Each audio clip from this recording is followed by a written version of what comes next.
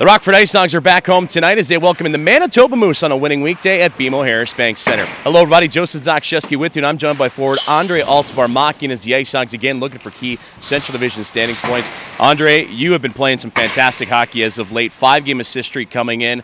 You got line mates Michael Teply and Lucas Reichel also playing really well. What's been the biggest key for your guys' success?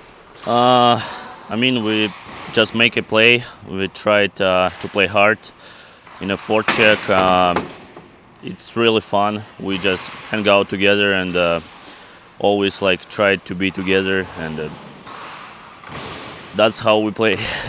well, you guys are very creative too. It seems like that creativity is limitless. You're, you know where each other are on the ice.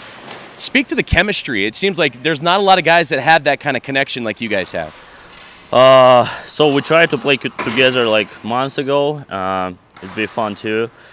Well, right now we just uh, try to go to playoffs, and uh, coach say like we need to play um, good uh, defensively and uh, offensively. You can do whatever you, we want. Like we tried, tried to creative, tried to score some goal, and um, it's fun to see. Now, the team overall for the IceHogs, they're playing really well. They're climbing up the Central Division standings. You enter tonight in fourth place.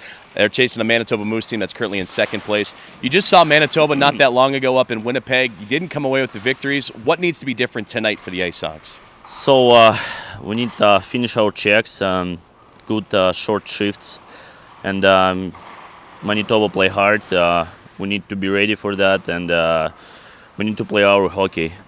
I think uh, we have a really good chance to win this team. Yeah.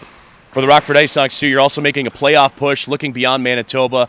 It's kind of that grind of the season where you're playing a lot of hockey. What's it going to take to consistently put up victories and put up points to get into the postseason?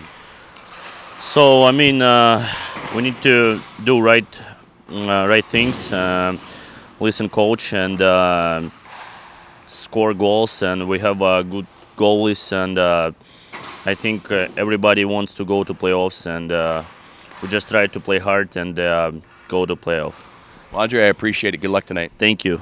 Forward Andrei Altybarmakian joining us as the Rockford IceHogs squaring off against the Manitoba Moose tonight at BMO Harris Bank Center. Let's get you back to the action. You're listening and watching Rockford IceHogs hockey on the Hogs Broadcast Network, presented by BMO Harris Bank.